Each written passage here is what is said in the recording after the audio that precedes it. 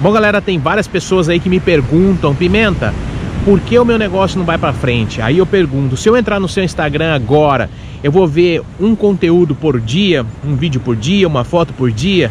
Será que eu vou ver isso? Ou será que eu não vou ver isso? Então você tem que ver, se você não tem um conteúdo escalonável, muito pro provável que o problema está em você.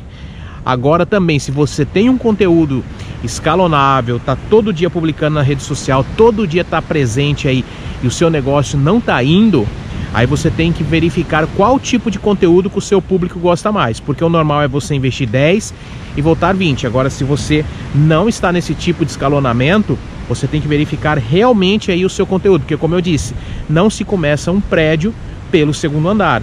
Então você não consegue aí um retorno do investimento que nós chamamos de ROI sem antes você ter uma base sólida no seu negócio, tá certo?